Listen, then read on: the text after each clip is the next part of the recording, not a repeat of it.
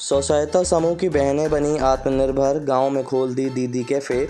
चौदह बहनें करेंगी कैंटीन का संचालन, लोगों को मिलेगी शुद्ध नाश्ता, चाय और फास्ट फ़ूड।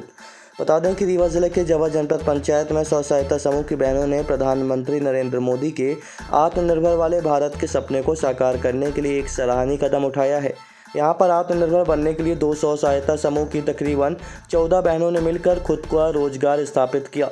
स्व सहायता समूह की इन बहनों ने गाँव में ही दीदी कैफ़े के नाम से एक कैंटीन खोली है। गाँव में दीदी कैफ़े खोलकर इन बहनों ने साबित कर दिया कि महिलाएँ भी किसी से कम नहीं हैं।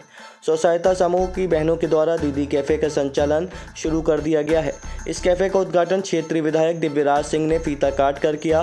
बता दें कि इसके लिए विधायक ने जवा जनपद के सीओ से ज़मीन का आवंटन कराया, फिर ढाई लाख रुपए विधायक निधि से देकर भवन दुकान का निर्माण कराया है। मेरा नाम अंजी गुप्ता है। मेरे समूह का नाम सरस्वती है और मेरे ग्राम संगठन का नाम शंकर स्व सहायता शंकर ग्राम संगठन इटौरी है और मेरे सेला का नाम है जागृति, सामुदायिक सहयोग संस्थान जवा बरौली है।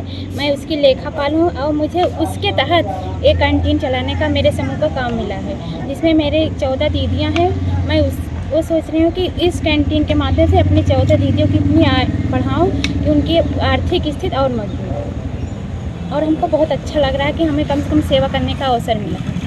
नाश्ते का और मैं लंच पैकेट भी तैयार करूँगी और जैसे मुझे जनपद में कोई काम है टेंडर मिलता है मैं सारे काम करना चाहती हूँ मैं कर भी रही हूँ।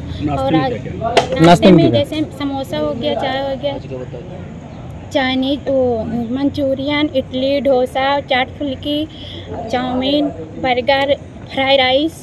तो क्या यहाँ पे मतलब होम डिलीवरी भी उपलब्ध रहेगी जैसे मान लीजिए? जी वो रहेगी हमें सारी सेवा उपलब्ध कराएँगे ज़िले के मुख्य आदरणीय श्री अजय सिंह सर डीपीएम रीवा के कुशल नेतृत्व में आजीविका दीदी कैफ़े का संचालन करने का निर्देश प्राप्त हुए उनके दिशा निर्देश के अनुसार हम्म। हम लोग हमारे जागृति सी जो कि हमारी जवा अंतर्गत कुल पाँच सी क्लस्टर लेवल फेडरेशन का गठित है हम्म। जिसमें से एक ज्योति है डभौरा में हम्म। एक चंपागढ़ में है कृष्णा के नाम से एक रमगढ़वा में है अवतार के नाम से और एक पटेहरा में आकाश के नाम से संचालित है इसमें से जागृति संगठन के अंतर्गत हमारा उसकी का एक समूह यहाँ पे हमारे पास आठ आवेदन आए थे कैंटीन संचालन करने हेतु तो जिसमें इनका समूह पात्र पाया गया है हम्म। जिसके लिए मध्य प्रदेश शासन की तरफ़ से दो लाख सड़सठ हज़ार रुपये का एक एस्टिमेट हुआ था जिससे बिल्डिंग हम्म। जनपद कार्यालय से अलॉट करके इनको बिल्डिंग निर्माण करा करके और इनकी आर्थिक गतिविधि को बढ़ाने के लिए।